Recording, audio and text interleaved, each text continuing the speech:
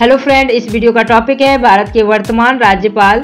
अरुणाचल प्रदेश के राज्यपाल हैं लेफ्टिनेंट जनरल केवल्प त्रिविक्रम परनाइक जो हाल ही में 12 फरवरी 2023 को राज्यपाल बने हैं। असम के राज्यपाल हैं गुलाब चंद कटारिया, ये भी 12 फरवरी 2023 में राज्यपाल बने हैं।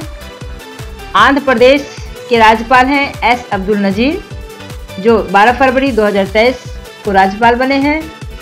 उत्तर प्रदेश के राज्यपाल हैं आनंदीबेन पटेल, उत्तराखंड के राज्यपाल हैं गुरमीत सिंह जनरल ओडिशा के राज्यपाल हैं प्रोफेसर गणेश लाल, कर्नाटक के राज्यपाल हैं थावर चंद गहलोत, केरल के राज्यपाल हैं आरिफ मोहम्मद खान, गुजरात के राज्यपाल हैं आचार्य देवव्रत।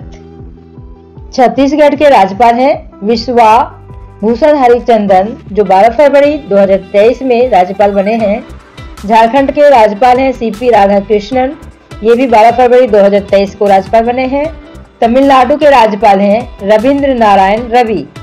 तेलंगाना के राज्यपाल हैं doctor Tamilisai Soundararajan Tripura के राज्यपाल हैं सत्यदेव नारायण आर्य। नागालैंड के राज्यपाल हैं ला गणेशन, जो 12 फरवरी 2023 को राज्यपाल बने हैं।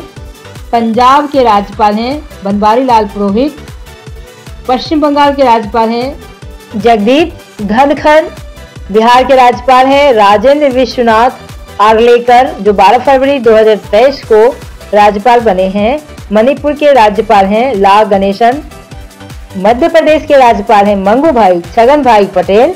महाराष्ट्र के राज्यपाल हैं रमेश वैस, जो 12 फरवरी 2023 को राज्यपाल बने हैं।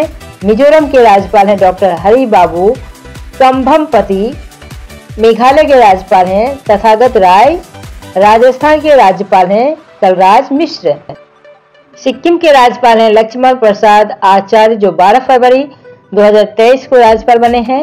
हरियाणा के राज्यपाल हैं बंडारू दत्तात्रेय। हिमाचल प्रदेश के राज्यपाल हैं शिव प्रताप शुक्ला, जो 12 फरवरी 2023 को राज्यपाल बने हैं।